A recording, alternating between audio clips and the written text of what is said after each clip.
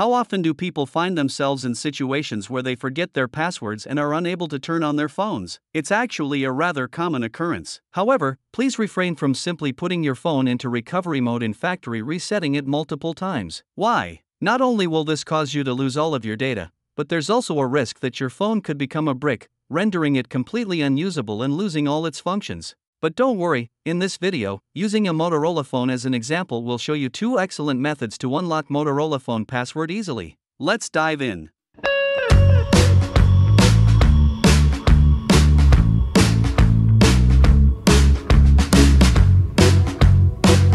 Method 1 Unlock Motorola phone password without factory reset. Motorola phones, similar to other active Android devices, are associated with a Google account. Thus, it's possible to utilize Google's built-in features to unlock your Motorola phone without factory resetting. However, it's crucial to ensure that you have a stable internet connection throughout the entire process and that your phone is running Android 7.1.1 or a lower version. Firstly, search for and log into the Google Find My Device website. Then, enter your Google account and password to complete the login. Secondly, after Google locates your device, select the specific device that you need to unlock. In this case, we'll choose Motorola. Next, after clicking, you'll notice three options on the left side. Click on the second option, which is Secure Device. Once clicked, a window will pop up, prompting you to set a new password in contact info. Finally, go to your locked phone and input the new password you just set.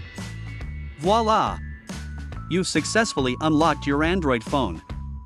If this method doesn't work on your phone, don't be anxious, let's look at the next method. Method 2 Unlock Motorola phone password with DroidKit. Here, we'll introduce an efficient tool called DroidKit. With just a few simple clicks, you can access your Motorola phone even without a password. What's more, DroidKit allows you to unlock over 20,000 Android phone and tablet models, and you don't need any specialized skills. Here are the steps on how to unlock Motorola phone password without factory reset by using DroidKit. Step 1 Download the latest version of DroidKit for free from the official website and then run it. Step 2 In the pop up window, click on the screen Unlock Program.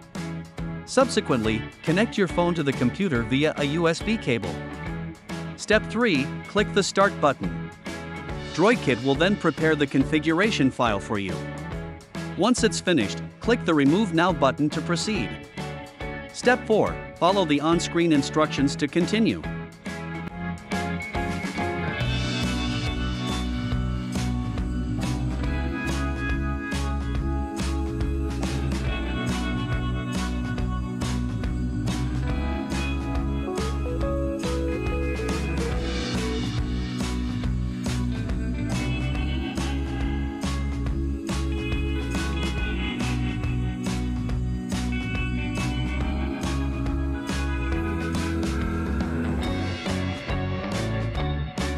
Once the unlocking process is completed, the lock screen of your phone will be removed.